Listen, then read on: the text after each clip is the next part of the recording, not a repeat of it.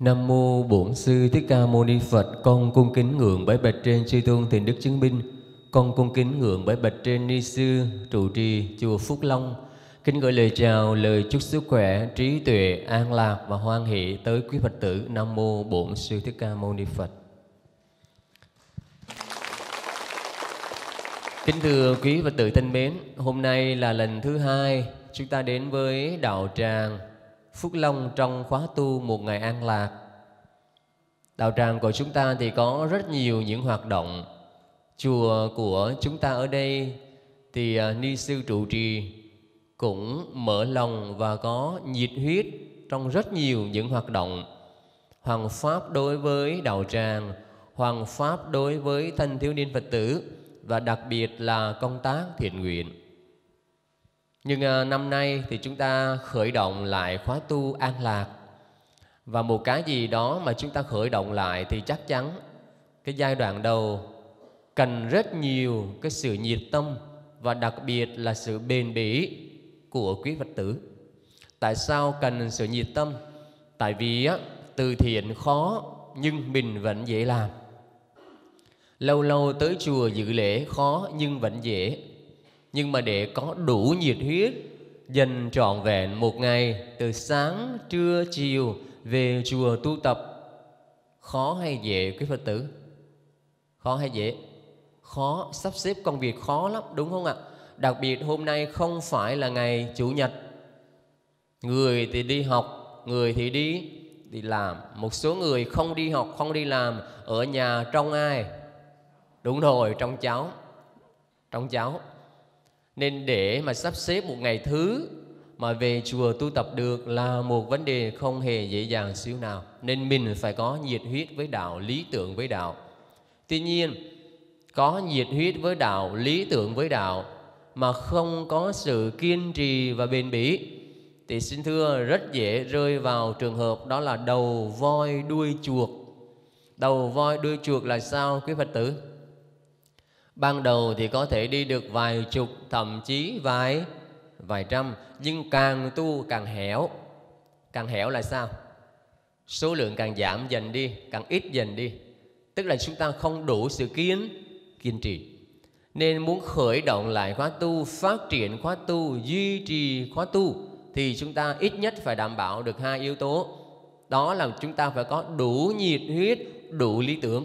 Thứ hai, mình cần phải có sự bền bỉ và để làm được điều này, để làm được điều này thì làm sao? Mình phải hiểu được giá trị của sự tu tập. Đừng nghĩ hôm nay là một cuộc dạo chơi mà mình phải nghĩ hôm nay là nơi trở về. Cái chùa, cái sự tu tập mới đích thực là nơi trở về của chính mình. Tại vì sao? Tại vì nhà chúng ta có cao, cửa có rộng, có xe hơi, có tài sản, tất tần tật mọi thứ. Thậm chí chúng ta có chồng, có vợ, có con. Đúng không ạ? Nhưng mà một mai cơn gió vô thường đến tất cả những thứ đó không đi theo chúng ta được. Ví dụ mình có nhà, cửa, xe hơi, tài sản. Sau khi chúng ta mất rồi, chúng ta trở về với các bụi rồi, tài sản đó mình còn xài được nữa không? Không còn xài được bố mẹ thương chúng ta, vợ chồng quý chúng ta, con cái hiếu thuận với mình. Nhưng lỡ mai mình về với đất, thì con cái, vợ chồng, những người thân có đi theo mình được không, quý phật tử? Không đi theo mình được. Thậm chí cái tấm thân này này ngày nào mình cũng tắm, mình cũng rửa, mình cũng ăn uống, chăm sóc cho nó. Nhưng mà chỉ cần hít vào mà không thở ra là cái thân này cũng phải trả về với các các bụi nên nếu đủ lý tưởng, đủ nhiệt huyết tu tập và kiên trì bền bỉ là phải hiểu cái ngày mình về chùa tu tập khóa tu một ngày an lạc là cái ngày mình đang xây dựng cái ngôi nhà tâm linh cho mình. Cái ngày để làm gì? Để chúng ta có một chốn để về. Lỡ mai cơn gió vô thường đến, tài sản, vật chất, người thân yêu chúng ta đều phải vẫy tay ra đi bước sang một cái toa tàu mới, một cái chuyến hành trình mới. Và chuyến hành trình đó, mình đi mấy mình? Một mình. Lúc đó mới biết giá trị những ngày tu. Lúc đó chúng ta mới biết giá trị những cái thiện pháp mình làm. Thì lúc đó trên cái lộ trình có một mình à tự cứu lấy mình. Mà cả cuộc đời chưa đi chùa, thậm chí đi chùa rất nhiều lần, nhưng tới chỉ để lễ lại để chụp hình về. Mà không có nghe pháp, không có hiểu pháp, không có quy y tam bảo, thì thì làm sao có thể tự có lợi ích nhiều không? Không có lợi ích nhiều. Mình không biết thế nào là đúng để làm. Không biết cái nào sai để tránh. Không biết cái nào thiện để vun bồi. Không biết cái nào ác để mà tránh xa thế là mình như nào? Làm những điều ác không làm những điều thiện. Còn tâm ý của chúng ta đầy rẫy, tham sân si, hương thua, ác độc, tranh giành, phiền não. Thì chính những cái tham sân si, hương thua, ác độc, tranh giành, phiền não và những cái ác nghiệp mình gây tạo, nó sẽ kéo chúng ta thoái đọa xuống địa ngục, ngạ quỷ và súc sinh. Nên khi mình phải đặt vấn đề rằng, thôi cơm áo gạo tiền, cần phải lo đấy. Người thân yêu cần phải chăm sóc thương yêu, nhưng nhưng trước khi thương người phải thương ai? Thương mình. Hôm nay mình đi tu là mình thương mình đấy. Và khi mình thương mình trọn vẹn rồi, thì mình sẽ thương được mọi người. Ví dụ hôm nay về mình nghe kinh, nghe kệ, nghe pháp, mình thay đổi được tư duy của mình mình thay đổi được nhận thức của mình mình thay đổi được suy nghĩ của mình mình thay đổi được lời nói của mình. Thì chính những cái thay đổi về nhận thức, về suy nghĩ, về lời nói, về hành động của mình có giúp được cho gia đình của mình không? Được. Trước đó thì như thế nào? Chồng nói một tiếng, mình cãi lại một tiếng. Đúng sai, không quan tâm. Lúc đó thì như thế nào? Rảnh một cái là không phụ giúp vợ đâu mà gặp ông này, ông nọ nhậu nhẹt. Nhưng bây giờ tới chùa tu tập rồi, không làm những điều đó nữa.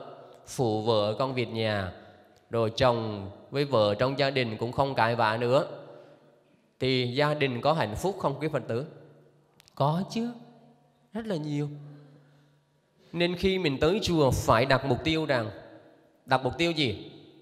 Những thời gian còn lại, mình đã lo cơm là áo, gạo, tiền có nhiều người mình quan tâm và mọi người quan tâm mình rồi.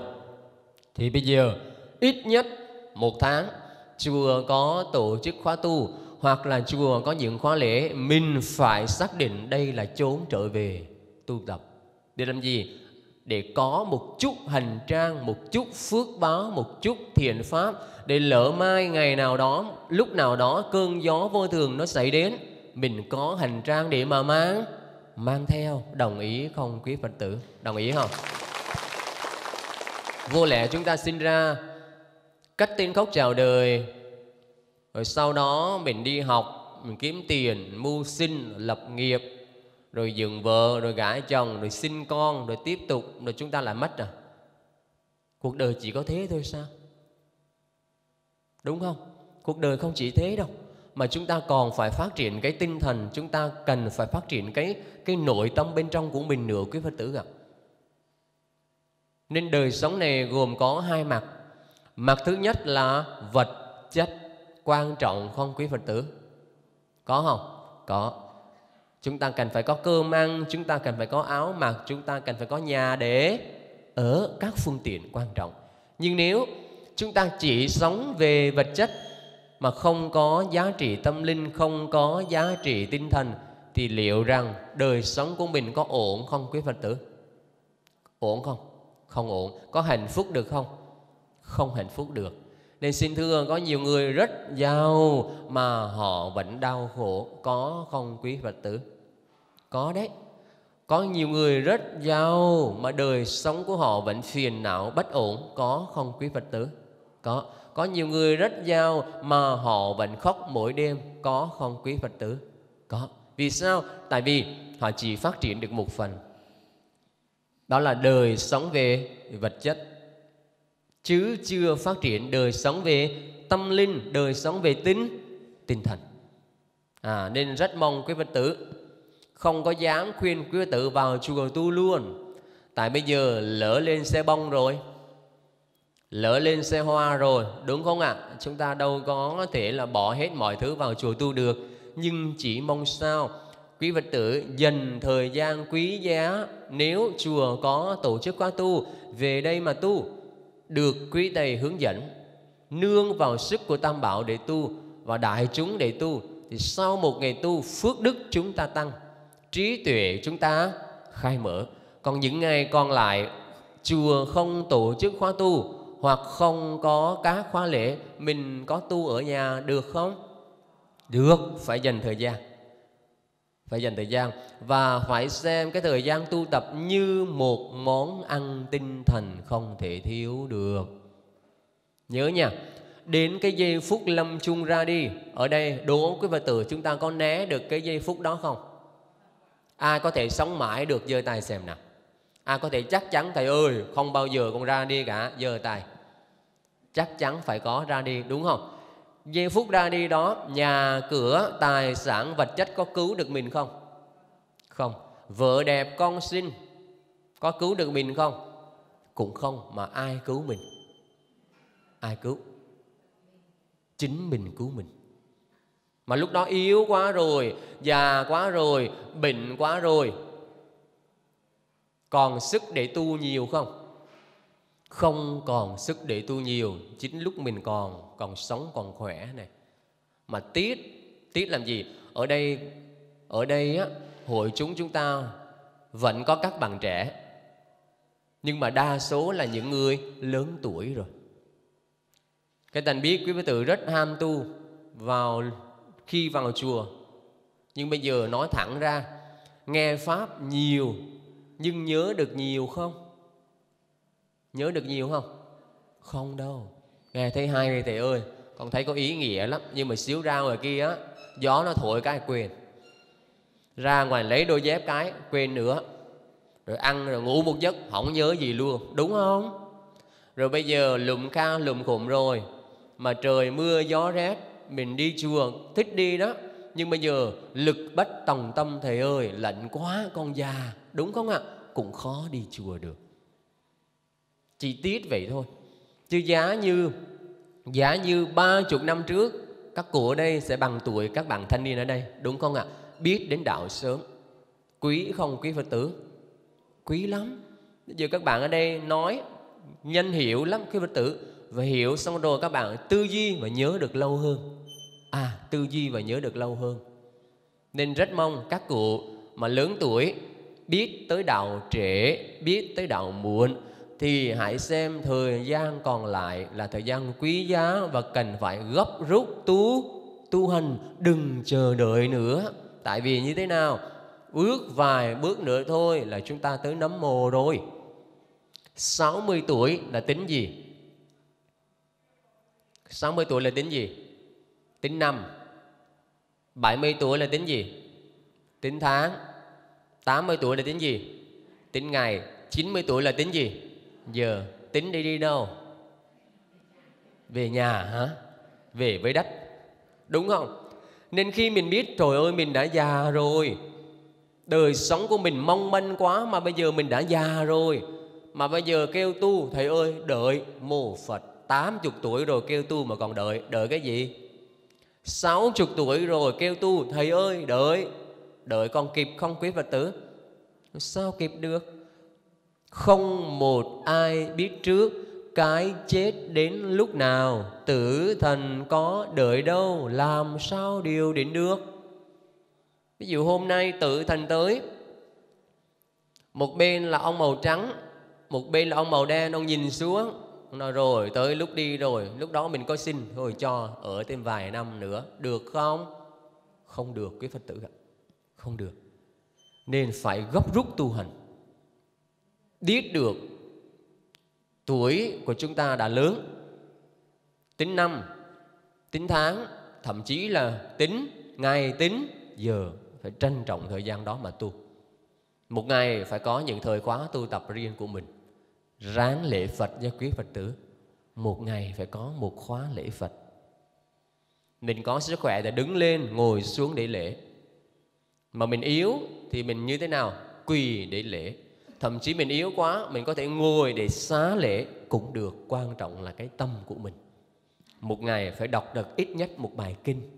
Xíu nữa chiều nay cái tên sẽ hướng dẫn quý phật tử tụng niệm những bài kinh ngắn dễ hiểu. Một ngày phải có một thời tụng kinh, lễ phật. Và được tốt nữa và quan trọng hơn nữa đó là phải có một thời nghe pháp. Nghe pháp thời nay khó hay dễ? Dễ. Có cái smartphone là nghe được không? Được. Kết nối đúng không ạ? Lên youtube cũng được, facebook cũng được. Nghe những bài pháp để ít nhất một ngày ngoài cơm, áo, gạo, tiền, những cái vấn đề xã hội cần phải lo. Thì phải có những khoảng thời gian lo cho ai?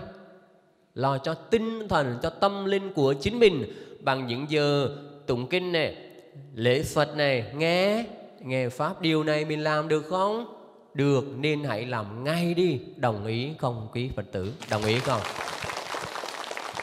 Còn các bạn trẻ, khi các con về chùa, nhìn hình ảnh của các con còn trẻ mà về chùa tu tập được cực kỳ quý. Nên thầy mong sao các con ở đây là những cái rường cột của Phật pháp sau này, là thế hệ tương lai của Phật pháp sau này.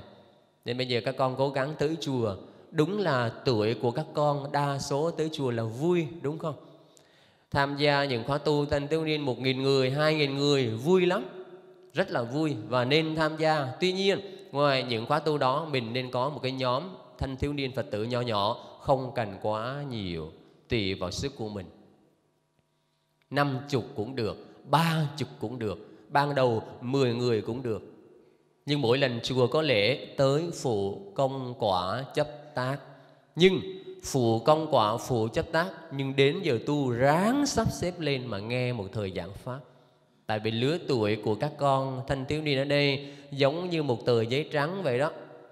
Nếu chúng ta không có những cái ô ly, không có những cái vật ngay hàng thẳng lối, không viết vào những cái nét chữ, không tô vào những cái mảng màu tươi sáng, thì rất dễ những cái tệ nạn xã hội, những cái cám dỗ của xã hội, những cái điều xấu ác của xã hội, các con rất dễ thâm nhập. Và lúc đó như nào? Không còn là tờ giấy trắng nữa, mà là những mảng máu. Tối là những vết vẽ nguyệt ngoạc, chứ không có định hình được. Nên rất mong ở đây lớn tuổi và tinh tấn tu, tại vì thời gian không còn nhiều. Còn chúng ta còn trẻ tuổi, thì đây là một cơ hội vàng, một thời điểm vàng để mình dành thời gian tu tập đồng ý không, quý phật tử? Đồng ý không? Nên hôm nay, trước khi giảng pháp, nhắc quý phật tử chút xíu như vậy đó nha. Để chúng ta ráng tu. Còn bây giờ chúng ta sẽ nói đến một cái đề tài pháp thoại. Lần trước thì chúng ta đã gieo duyên quy y tam bảo. Người ta nhớ là 24 24 quý phật tử. Trong 24 quý Phật tử đó thì có khoảng 10 10 cho đến 12 em là thanh thiếu niên. Rất là quý.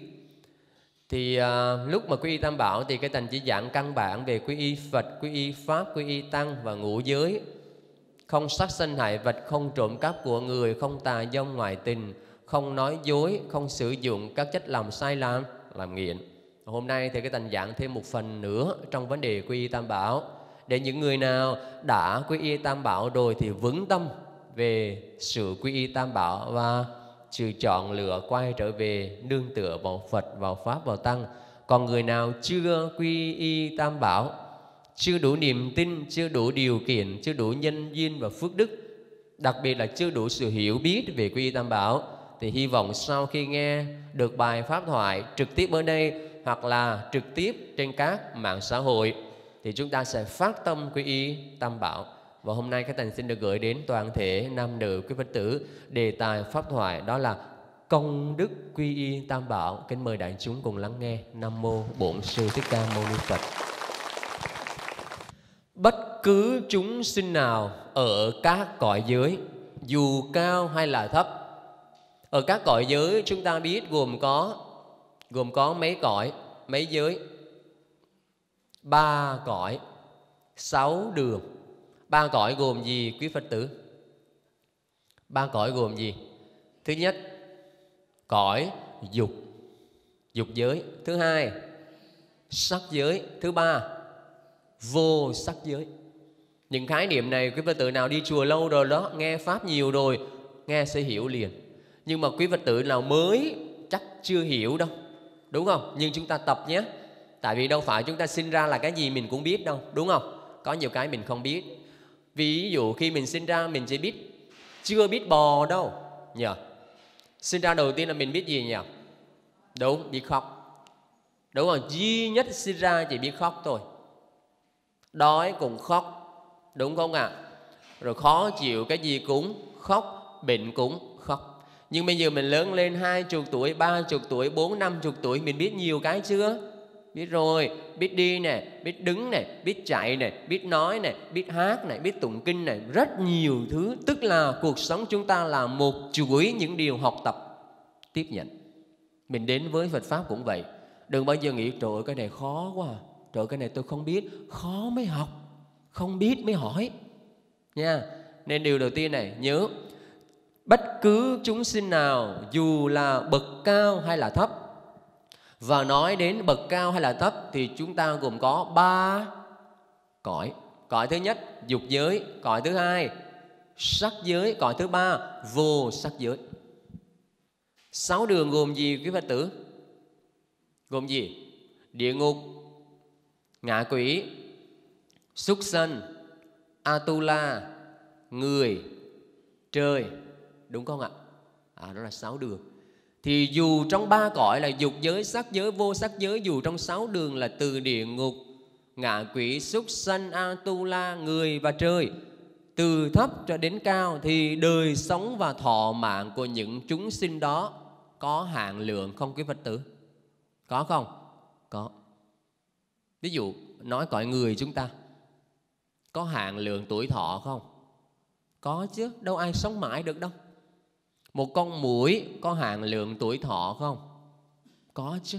Một con trâu, một con bò, một con chim, một con cá, nó có hạn lượng về về tuổi thọ của nó không? Có chứ. Chư thiên ở các cõi có thể sống trăm năm, nghìn năm, triệu năm, nhưng có phải sống mãi không? Cũng không thể sống mãi được. Nên chúng ta đồng ý một điều rằng, bất cứ chúng sinh nào dù là thấp hay là là cao thì đời sống và thọ mạng đều có hạn hạn lượng cả. Có sinh thì chắc chắn phải có gì? Đúng rồi, có tử. Mà có tử thì mới có có sinh. Để làm gì? Để tạo thành một vòng xoáy luân hồi vô cùng tận. Ví dụ, ở đây chúng ta đang 60 tuổi. 60 tuổi thì nếu nếu trước đó 60 năm không có một chúng sinh ra đi mất thì có mình ra đời không? Không. Đúng không? Ví dụ ví dụ kiếp trước đi, kiếp trước mình cũng là con người đi, ví dụ vậy đi, đúng không? Chúng ta con người có thể ở nước Việt Nam hoặc là ở một nước nào đó, có thể ở Hà Nội hoặc là ở thành phố Hồ Chí Minh tùy nhé. Thì 60 năm trước, lúc đó mình là một ông cụ hoặc là một bà cụ chẳng hạn. Mình như thế nào? Hết cuộc đời, chấm dứt hít vào, không thở ra. Lúc đó, ngay lập tức mình mất đi kiếp sống đó. Nhưng trong kiếp sống đó mình vẫn có tu tập. Thì khi chúng ta vừa nhắm mắt lìa đời, chúng ta có đầy đủ nhân duyên và phước báo. Không bị đọa xuống các cõi, mà có nhân duyên phước báo sinh ra làm người. Thì khi bên kia, có một chúng sinh đang nhắm mắt lìa đời, đúng không ạ? Tắt thở, thì ngay lập tức mất đi mạng sống đó, nó không mất đi đâu cả. Nó sẽ chuyển sang một đời sống mới, nhập thai vào một bào thai của một chúng sinh nào đó tương ứng trong cõi người. Nên hiện tại mình đang 60 tuổi 70 tuổi, tức là 60 năm 70 năm trước đã có một chúng sinh nhắm mắt lên đời, tức là kết thúc sự sống để mở ra sự sống mới cho chúng ta ngồi ở ở đây. Nên có sinh chắc chắn sẽ có diệt, có tử mà có tử rồi thì mới có có sinh. Nó tạo thành một cái vòng xoáy luân hồi vô cùng tận. Điều đáng nói ở đây là sau khi chết, chúng ta đi về về đâu? Được sinh lên trời, hưởng phước, được sinh vào cõi người, tiếp tục tu tập. Hay là đọa xuống các cõi khổ, địa ngục, ngạ quỷ, súc sanh atula để chịu đau khổ. Và ai là người có quyền quyết định xu hướng tái sinh ấy? Các ta nhắc lại nha. Một số vấn đề này căn bản này sau khi chết, đi về về đâu? Được sinh lên các cõi trời hưởng phước, sinh lại cõi người tiếp tục tu nhân tích đức hay là đọa xuống các cõi cõi khổ đau. Điều thứ ba, ai là người quyết định cái xu hướng tái sinh ấy? Đó là những điều mà chúng ta sẽ phân tích trong bài giảng này. Trong kinh tăng chi bộ, đức phật đã dạy rằng, chúng sinh là chủ nhân của nghiệp, là kết quả của nghiệp, là thừa tự của nghiệp và thai tạng tứ, từ nghiệp. Tức là thế tôn đã dạy rằng, tự mình tạo ra những nghiệp trong quá khứ và tự mình tạo ra những nghiệp trong kiếp hiện tại này sẽ quyết định xu hướng tái sinh của mình. Biết được điều này rồi thì trong đời sống một người có chánh kiến, một người có sự tu tập, có sự hiểu biết, có trí tuệ đó thì họ sẽ làm sao ạ? À? Họ không quá lo lắng về cái chết. Tại vì lo lắng về cái chết thì có hết chết không? Không, mà họ chỉ suy tư là sau khi mình chết sẽ xin về đâu. Và suy tư về vấn đề đó, biết được sau khi mình chết mình xin về đâu, suy tư về đó để làm gì? Để tu nhân tích đức. Tu nhân tích đức là gì? Tránh xa những điều ác, xin làm những điều thiện, giữ tâm ý thanh tịnh, chuyển hóa ba nghiệp thân, khẩu, ý của mình theo hướng tích cực và và thiện lành. Để lỡ một mai cơn gió vô thường đến, Bất cứ lúc nào chúng ta cũng có thể ra đi, Thì cái quá trình chúng ta tu nhân tích đức đó Là một cái phao để làm chúng ta nổi xin về các cõi giới an lành, Chứ không bị đọa lạc Đồng ý không, quý Phật tử? Đồng ý không? Và một trong những biểu hiện của vấn đề chuyển nghiệp đó là phát tâm quy y tam bảo. Phát tâm quy y tam bảo. Nhưng cái công đức của quy tam bảo xin thưa quý vị tử, lớn lắm. Chỉ có điều là mình không hiểu thôi. Không hiểu thôi. Và thậm chí mình cũng có quy tam bảo, Có lá phái đó. Nhưng mà mình nghĩ, ô, có cái lá phái để làm gì? Để làm gì? Để làm gì? Để có cái pháp danh thôi. Để biết là tôi đã quy tam bảo. Nhưng bây giờ hỏi quy y nghĩa là gì? Không biết. Tam bảo là gì? Không biết. Vì sao tam bảo là châu báu? Không biết. Ngũ giới là gì? Ờ, Họ không nhớ luôn. Tại sao phải thọ ngũ giới? Lợi ích thọ ngũ giới là gì? Không biết. Thì cái lá phái quy y đó, cái pháp danh đó có ý nghĩa không quý Phật tử? Không có ý nghĩa. Nên quy y công đức rất lớn. Nhưng không phải ai quy y cũng có công đức lớn. Người nào quy y mà hiểu được ý nghĩa quy y, giá trị của sự quy y, thì công đức mới lớn. Còn người nào quy y chỉ đơn giản có niềm tin, không hiểu ý nghĩa quy y, giá trị của sự quy y, thì công đức quy y không có. Nên ở đây, ai đã quy y tam bảo rồi, giơ tay khải thành xem nào. Ai đã quy y tam bảo rồi, giơ tay cao cái thành xem nào, có nhiều không? Rồi ai chưa quy y tam bảo, giơ tay khải thành xem chưa quy y tam bảo. Rồi, cảm ơn quý phật tử. Thì người nào đã quy y tam bảo rồi, sau bài giảng này, xác định lại liệu bao nhiêu năm qua mình quy y tam bảo đã trọn vẹn chưa? Mình đã hiểu được ý nghĩa quy y tam bảo đúng mức chưa? Còn người nào chưa quy y tam bảo, sau khi nghe xong bài này rồi mình hiểu được giá như mình quy y tam bảo sớm thì tốt biết mấy. Bây giờ đã sẵn sàng nghe pháp chưa? Sẵn sàng nghe được lợi ích và công đức của quy y tam bảo chưa? Rồi, chúng ta cho một tràng pháo tay thật to nha. Bây giờ cái thành sẽ trích nguyên văn một câu chuyện, một đoạn kinh nói đến ý nghĩa và công đức của vấn đề quy y tam bảo là như thế nào một thời Đức Phật ở Tần La Diệt tại vườn Trúc Ca Lan Đà cùng với chúng đại tỳ kheo 500 người. Bây giờ cõi trời 33 có một thiên tử, thân hình có năm điều chết hiện. Thế nào là năm? Hoa trên mũ áo tự héo, y phục dơ bẩn, dưới nách đổ mồ hôi, chẳng thích địa vị của mình, ngọc nữ xa liệt.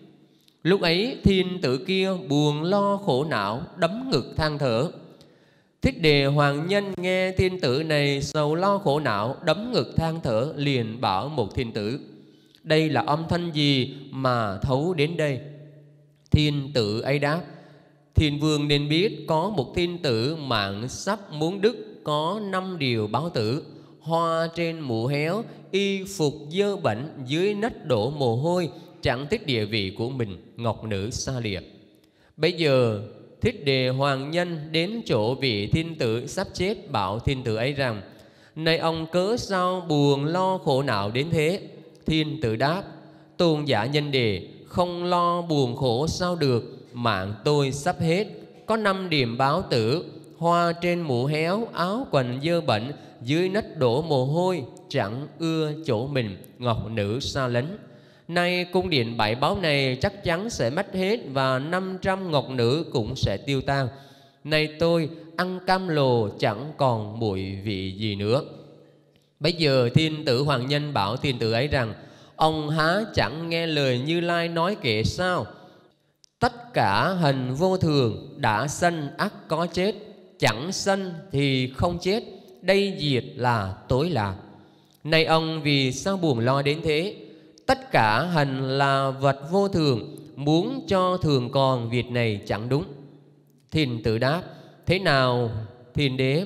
Làm sao tôi không buồn lo được?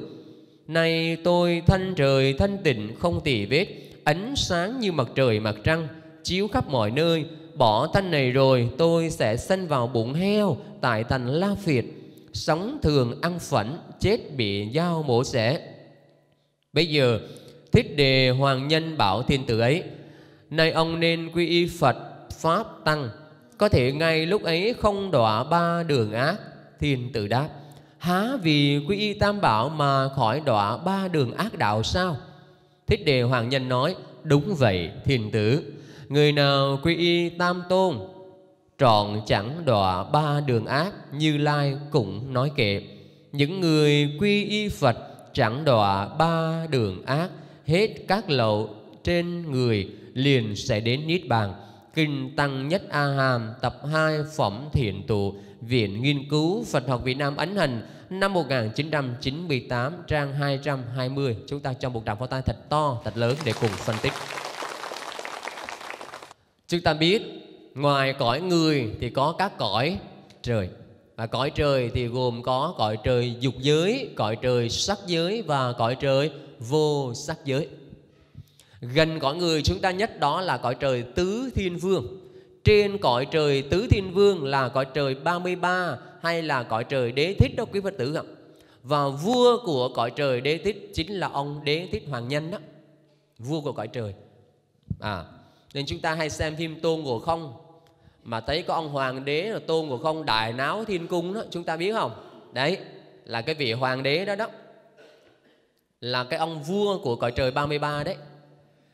Thì cái cõi trời này phước báo hơn loài người, tuổi thọ hơn loài người.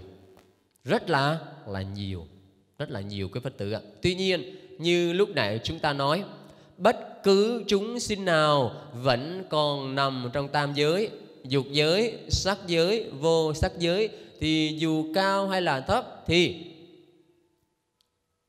về cái tuổi thọ có hạn lượng không quý phật tử? Có hạn lượng. Và trong trường hợp này, một cái vị thiên tử ở cõi trời 33 cũng sắp hết hạn lượng tuổi thọ của mình. Con người chúng ta thọ nhiều nhất là khoảng 120 tuổi là quá nhiều rồi.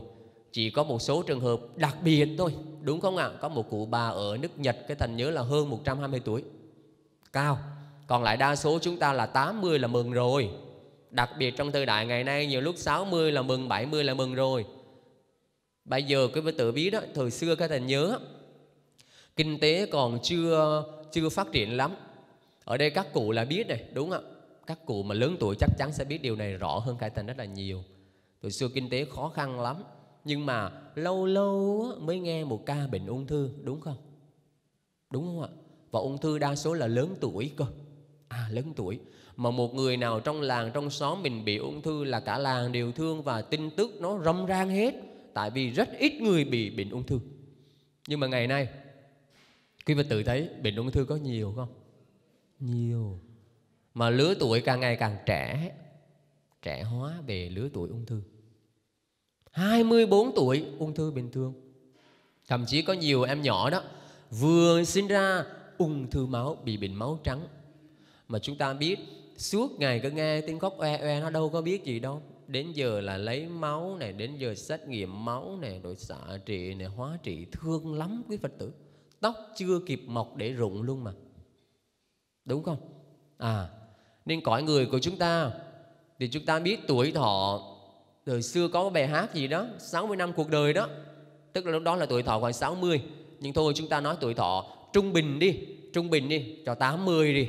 Nha, lấy tuổi thọ trung bình là 80 nhưng mà tuổi thọ của các vị thiên tử trên cõi trời không tính năm đâu.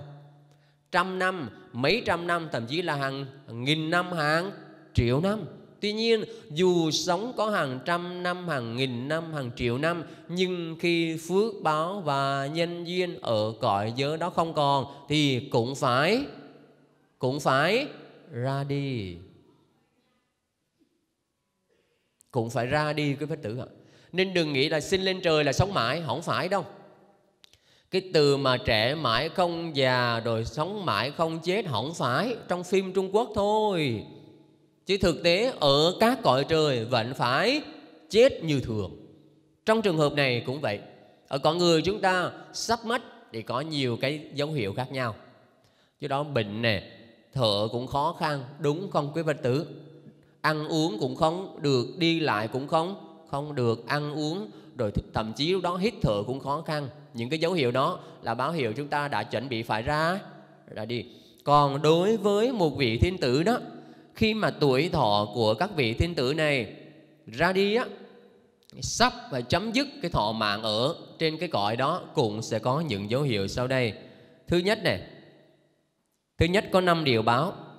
Hoa trên mũ héo, tức là các vị thiên tử đa số trên đầu của các ngài đều có hoa hoa kết đó. Như một vị thiên tử nào mà nhìn cái hoa kết trên đầu của vị đó mà nó héo là biết chuẩn bị ra đi rồi y phục dơ bẩn. Ở cõi người của mình mình làm lụng, vất vả, đúng không ạ? À? thì y phục nó dơ. Nhưng cõi trời không có làm gì hết á. Hưởng phước mà. Nhưng lúc đó tự nhiên y phục của mình nó không còn trắng, không còn đẹp mà bắt đầu nó có loang lỗ, có dơ bẩn. Đây là dấu hiệu số 2 chuẩn bị chấm dứt thọ mạng ở cõi trời. Biểu hiện thứ ba đó là dưới nách đổ mồ hôi con người mình thì bình thường, đúng không ạ? Đa số mình hoạt động chút xíu là có đổ mồ hôi không, quý phật tử? Có. Nhưng mà chư thiên á, bình thường không đâu. Người của chư thiên thơm lắm, quý phật tử, không như chúng ta đâu. Tất cả những mùi nước hoa thơm nhất của hành tinh của thế giới này cũng không thơm bằng mùi của chư thiên đâu. Nhưng đến lúc đó, dưới nách của các vị chư tiên đổ mồ hôi, đây là dấu hiệu số 3 tuổi thọ của các ngài ở trên các cõi chuẩn bị chấm dứt yếu tố thứ tư, đó là gì? Chẳng thích cái vị trí ngồi của mình nữa. Cái nơi mình ở không còn thích chỗ đó nữa. Cảm thấy chán ngán chỗ đó. Cái thứ tư là, cái thứ năm là gì? Ngọc nữ xa lìa. Những cái người mà quấn quanh chung á, những cái người mà hay mà chăm sóc á, ở chung á, thì bắt đầu họ xa lìa mình. Xa lìa cái vị đó. Đó là năm dấu hiệu. Các ta nhắc lại nè. Hoa trên mũ héo y phục dơ bệnh dưới nách đổ mồ hôi chẳng thích địa vị của mình và ngọc nữ xa lìa. Đây là năm dấu hiệu của một vị thiên tử ở cõi trời 33 sắp hết thọ mạng. Mà đặc biệt trong cái trường hợp này nó kinh khủng rồi nè. Sắp hết thọ mạng trên cõi trời, đừng nghĩ xuống một bậc là cõi người không phải trong trường hợp này, vị tiên tử này khóc tại vì cái thanh thanh tịnh này Đúng không ạ? Mà thanh tinh tịnh trong cái đoạn kinh này nói như thế nào quý vị tự biết không? Nói như thế nào? Thanh sáng y như là mặt trăng, mặt trời mà bây giờ chuẩn bị đọa. Đọa xuống cõi gì? Cõi gì? Xúc sinh. Ông mới khóc. Ông nói, trời ơi, với cái thanh thanh tịnh này Ở trong một cái lâu ngày, Lâu đài uy nghi tráng lệ này, Có 500 ngọc nữ đi theo khi nào cũng thơm cả, ăn những vị cam lồ, nhưng mà chỉ trong vòng khoảng một thời gian ngắn nữa thôi, đọa xuống là một con heo. Mà con heo chúng ta biết ăn cái gì rồi? Rồi bắt đầu là cuối đời con heo bị làm gì? Bị đem đi? Đi mổ, đi giết. Ví dụ mình đi. Đừng nói chư thiên nha, mình là con người. Và mình biết được, ba ngày nữa mình ra đi và sau ba ngày nữa mình ra đi, đọa làm một con heo. Buồn không? Khóc không? Có chưa còn đây là một vị chư thiên. Đọa xuống làm người là các ngài đã cảm thấy buồn rồi. Mà bây giờ như thế nào? Đọa xuống làm con heo nữa. Khóc là đúng rồi. Khóc là đúng rồi. Thì khi thấy khóc thì vua trời đế thích mới hỏi, tại sao khóc? Thì nói dạ tại vì con có năm dấu hiệu mà năm dấu hiệu này báo là thọ mạng của con trên cõi trời hết rồi. Thì vua trời đế thích mới nói, đâu có sao đâu, tại vì như lai có nói rồi, có sinh thì ắt có gì? Có diệt muốn không sinh thì không diệt thôi. Thì bây giờ đó là vấn đề bình thường. Nó dạ nhưng mà không bình thường được đâu. Nó tại sao không bình thường? Tại vì con biết sau khi con thanh hoại mạng chung ở cõi trời thì con lại đọa xuống là một con heo. Đau khổ lắm. Đau khổ lắm. Thế là vua trời đế thích mới hướng dẫn nếu bây giờ gặp được như lai, tức là gặp đức phật đó, thọ tam quy ngũ giới, tức là quay trở về quy phật, quy pháp, quy tăng và giữ giữ giới, thì có cơ may thoát khỏi cảnh tâm tối ở ba cõi, địa ngục, ngạ quỷ và súc sanh. Thì vị tin tử này chưa biết đến đạo mà. Nghe như vậy rất là vui, rất là mừng, rất là hoan hỷ. Nhưng mà cũng như thế nào? Lời tơ mơ hỏi lại, có chắc không? Có chắc là khi mà mình phát tâm quy, phật quy, pháp quy tăng, mà thoát được ba cảnh khổ không? Vua trời đế Tích mới khẳng định, chắc, tại vì điều này thì ai ạ? À? đức phật đã nói rồi. Cụ thể, đức phật nói như sau, những người quy y phật chẳng đọa ba đường ác, hết các lậu trên người, liền sẽ tới niết bàn. Vậy đây, chúng ta thấy rõ không? Quy y tam bảo có công đức không? Công đức lớn không? Lớn. Và một trong những công đức lớn nhất của quy y tam bảo đó là gì? Đóng lại ba đường ác, mở ra các cảnh giới tươi sáng, biết đến phật pháp, tu tập, giải thoát và giác ngộ. Nên chúc mừng những ai đã quy y tam bảo rồi trong một tràng pháo tay thật lớn. Nên quy y tam bảo trọn chẳng đọa ba đường ác là một sự sự thật phải tin chắc điều đó. Nhưng quan trọng là mình hiểu hay là không thôi. Hiểu là không thôi. Bây giờ nếu ai đã quy tam bảo rồi mà bây giờ không dám mời lên đâu, bây giờ tự hỏi thầm bản thân của mình. Ra soát lại, quy y nghĩa là gì? Nếu không biết là chưa chắc đâu. Tam bảo là gì? Chắc là liệt kê được nhỉ? Gồm có phật, pháp và tăng. Tại sao? Tiền, đô la, euro, kim cương không phải là tam bảo, mà phật, pháp, tăng lại là tam bảo? Vì sao phật, pháp, tăng là châu báu? Trả lời được không? Chưa chắc trả lời được. Thì, công đức quy y tam bảo đã trọn vẹn chưa? Chưa trọn vẹn đâu. Nên lần vừa rồi, những ai quy y tam bảo đã được nghe giảng chưa? Rồi. Tháng trước cái thành đã quy y tam bảo, ai tháng trước quy y tam bảo giơ tay cái thành xem nào. Đã được nghe giảng rồi. Quy y nghĩa là gì? Tam bảo nghĩa là gì? Quy y tam bảo ra ra làm sao, vì sao phải quy y tam bảo nghe rồi mà? Không nghe làm sao quy y không biết không biết các nơi khác như thế nào, nhưng đối với bản thân của cái tành đó cái ngày quy y tam bảo cái tành giảng rất kỹ. Để làm sao để họ biết được cái giá trị quy tam bảo, chứ không phải là chờ ngã tay, thầy ơi, pháp danh của con là gì? Lá phái của con là gì? Pháp danh của con nghĩa là gì? Chứ không bao giờ hỏi, thầy ơi, quy y tam bảo nghĩa là gì? Phải biết. Phải biết rất là rõ nhiều lúc đi chùa mấy chục năm, áo cũng đã sờn vai phai màu, tóc chúng ta cũng đã điểm xương, pha trắng, thậm chí là bạc trắng rồi. Và tự tin rằng con là con của Phật, nhưng bây giờ phép quy y không hiểu thì chúng ta chưa chính thức là đệ tử Phật đâu. Nên người nào, quý phật tử nào đã quy y tam bảo, mà chưa hiểu rõ quy y tam bảo, làm ơn làm phước vì nghe lại cái bài quy y tam bảo trong cái bộ bước đầu học Phật đấy, để chắc chắn lại về ý nghĩa tam quy ngũ giới, đồng ý không quý Phật tử? Đồng ý không? Nhớ nha, củng cố. Chứ vài bữa mình nhắm mắt lìa đời, rồi mình lại rớt xuống ba cõi, mình nói, trời ơi, quý thầy lừa tôi.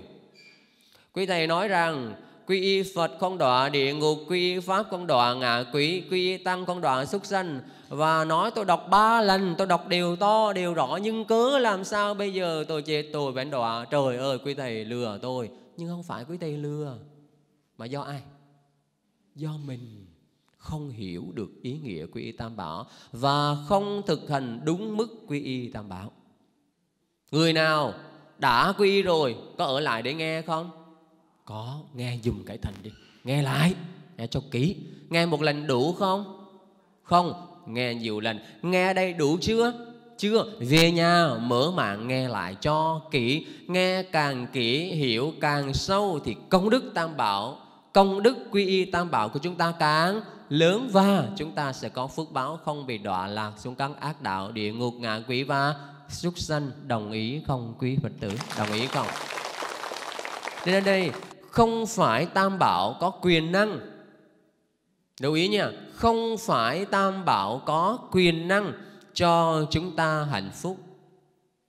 Mà cái việc chúng ta tự thức tỉnh, cái việc chúng ta bỏ tà quy chánh, cái việc chúng ta nguyện hướng đến cái sự trọn lành, nguyện hướng đến cái sự chân thiện mỹ của phật, của pháp, của tăng nó sẽ cứu vớt chúng ta thoát khỏi ba đường ác.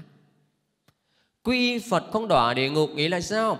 Tức là chúng ta quay trở về, nương tựa vào những phẩm hạnh, vào những đức hạnh của đức phật, học theo những phẩm hạnh, những đức hạnh của đức phật, làm theo những phẩm hạnh, đức hạnh của đức phật, nói theo những phẩm hạnh, những đức hạnh của đức phật, suy nghĩ theo những phẩm hạnh, những đức hạnh của đức phật, thì chắc chắn không bao giờ đọa địa ngục nên khi quy y Phật cũng có nghĩa là khơi gợi dậy, thức tỉnh dậy một vị Phật trong tâm của mình. Và khi vị Phật trong tâm chúng ta xuất hiện rồi, mình có làm điều ác không? Mình có nói điều ác không? Mình có nghĩ điều ác không? Không. Và khi không nói điều ác, không nghĩ điều ác, không làm điều ác thì có bị đọa không? Không bị đọa. Đồng ý không quý Phật tử? Đồng ý không? Những cái thầy nhắc lại nha. Quy y tam bảo thì không bao giờ đọa lạc xuống ba cõi ác Địa ngục, ngạ quỷ và súc Súc sinh. Đây là một sự thật. Tuy nhiên cần phải hiểu rằng Không phải tam bảo cho chúng ta một cái quyền năng là hạnh phúc Mà chính cái sự thức tỉnh của chúng ta Bỏ tà quy chánh nguyện hướng Đến cái sự trọn lành Chân thiện mỹ của Phật của Pháp, của Tăng. Chính điều này cứu vớt chúng ta thoát khỏi ba đường. Ba đường ác Đây chính là công đức của quy y tam. Tam bảo Nhớ điều đó. Phật Pháp Tăng không đâu xa. Mà Phật Pháp Tăng ở chính trong tâm của Của ta. Chân, thiện, mỹ, trang nghiêm, thanh tịnh. Đó là Phật, là Pháp, là Tăng đấy. Điều này mình có không quý Phật tử? Có, chỉ có điều Ngoài Phật, Pháp, Tăng Thì trong tâm của mình còn có ba con ma Ma gì? Đúng, ma tham, ma sân và ma si Bây giờ xét lại Trong ngày Phật Pháp Tăng xuất hiện nhiều hay là tham sân si xuất hiện nhiều? tham sân si xuất hiện nhiều mà một ngày tham sân si xuất hiện nhiều 30 ngày còn lại thì cái tháng đó tham sân si xuất hiện nhiều hay là Phật Pháp Tăng xuất hiện nhiều? Tham sân si xuất hiện nhiều. Mà 12 tháng còn lại là một năm thì cái nào xuất hiện nhiều? Tham sân si xuất hiện nhiều. 60 năm 80 năm cuộc đời, cái gì xuất hiện nhiều? Tham sân si xuất hiện nhiều. Vậy cuối đời, ai rước? Ai rước? Ô, ma rước. Là đi theo tham, theo sân, theo si mà. Nên chúng ta sống với tâm gì, thì chính cái tâm đó sẽ quyết định xu hướng tái sinh về cõi nào. Ai mà cũng muốn sinh về cõi lành, đúng không? Sinh lên cõi người, sinh lên cõi trời, chứng đắc các quả vị thánh. Nhưng mà hỡi ơi, tại sao không sống với phật? Không sống với tâm pháp không sống với tâm tăng mà đi sống với tâm tham sân si mình đi sống với tâm tham sân si nhiều mà mình muốn về với Phật, với Pháp, với Tăng ổn không? Không ổn. Mình sống với những hương thua ác độc tranh giành đố kỵ đấu đá nhiều mà muốn xin về cõi lành cõi tốt ổn không? Không ổn.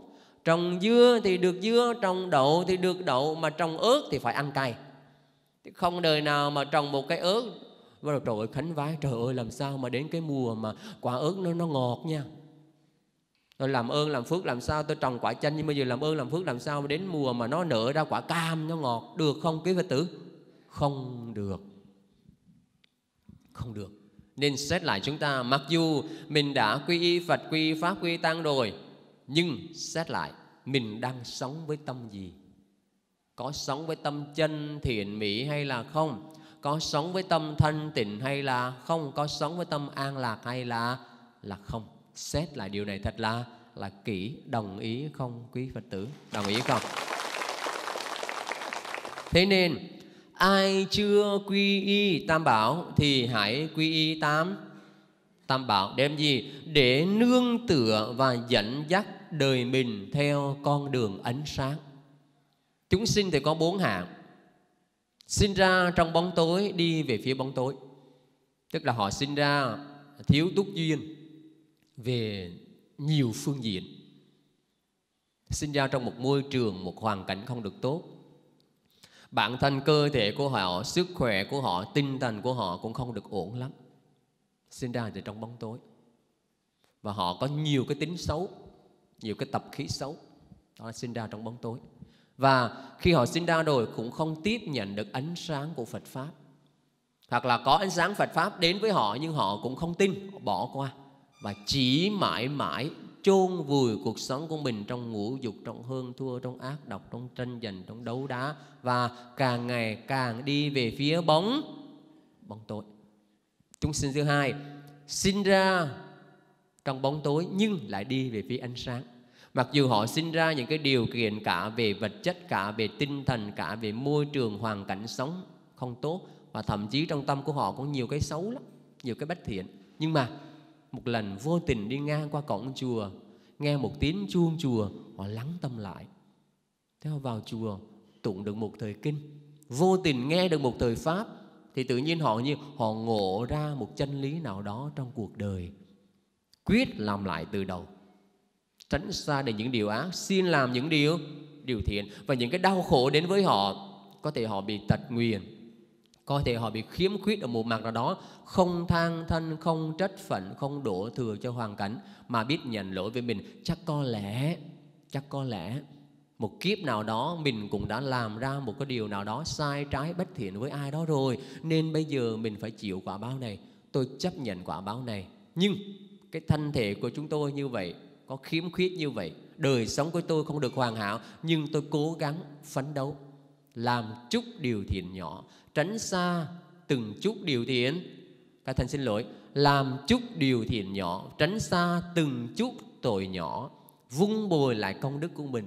Thế là từ từ, mặc dù sinh ra trong bóng tối, nhưng với cái nhận thức và cách sống đó, họ đang hướng về phía ánh sáng cuộc đời của họ sẽ tốt hơn và sẽ thay đổi về chiều hướng tích cực. Hàng chúng sinh số 3 sinh ra trong ánh sáng nhưng lại đi về phía bóng tối. Có nhiều người sinh ra từ vật đích đấy. Bố mẹ giàu có, sang trọng, phú quý. Những cái thức ăn ngon nào cũng có, ngôi nhà đẹp, phương tiện và chất đầy đủ. Muốn đi học trường nào, được đi. Nhưng mà quên mất giá trị đạo đức, giá trị tâm linh sống kiêu căng ngã mạn hưởng sạch phước. Thì xin thưa người này, mặc dù sinh ra trong ánh sáng có phước báo không ạ? À?